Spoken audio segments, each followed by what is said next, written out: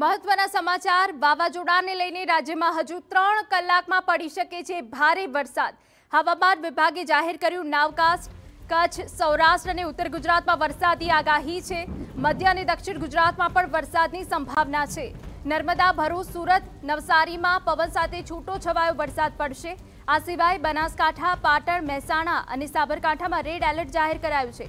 એકતાળીસથી એકસઠ કિલોમીટર ઝડપે પવન ફૂંકાશે અને આ સિવાય રાજ્યમાં થંડરસ્ટ્રોમ એક્ટિવિટી સર્જાઈ છે, જેના કારણે અમુક વિસ્તારોમાં ભારે વરસાદ પડી શકે છે. તો વાવાઝોડાને લઈને રાજ્યમાં હજુ ત્રણ કલાકમાં ભારે વરસાદ પડી શકે છે. હવામાન વિભાગે જાહેર કર્યું નાવકાસ્ટ કે જેમાં કચ્છ, સૌરાષ્ટ્ર અને ઉત્તર ગુજરાતમાં વરસાદની આગાહી કરાઈ છે. મધ્ય અને દક્ષિણ ગુજરાતમાં વરસાદની સંભાવના છે.